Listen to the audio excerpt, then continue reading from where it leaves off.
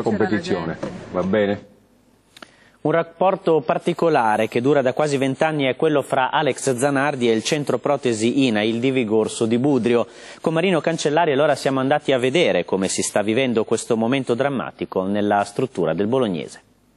Questa è l'handbike che è stata sviluppata nell'ambito del progetto Obiettivo 3 ed è caratterizzata dal fatto di avere tutta una serie di parti ultraleggere sviluppate in fibra di carbonio. Al progetto Obiettivo 3 partecipa anche Alex Zanardi, un programma tecnico sportivo che vuole portare nelle migliori condizioni possibili tre atleti alle Paralimpiadi di Tokyo. Alex è una persona eccezionale che eh, le, le, istruzioni, le informazioni che era in grado di portare in seno al progetto sono, sono uniche. Alex poi è un appassionato di meccanica, è un, quindi una persona che vuole eh, capire e conoscere tutto ciò che avviene intorno a lui. Al centro protesi INAIL di Vigorso, Alex Zanardi ci è venuto per la prima volta con il dottor Costa, il medico dei piloti, subito dopo il terribile incidente sul circuito di Lausitzring in Germania, che gli costò l'amputazione di entrambi gli arti inferiori.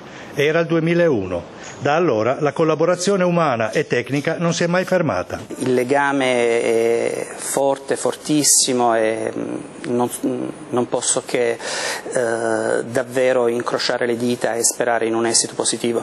Abbiamo bisogno dei suoi consigli, dei suoi suggerimenti, della sua motivazione per andare avanti. Ora l'aggiornamento sull'epidemia di coronavirus. Sono 22 i nuovi casi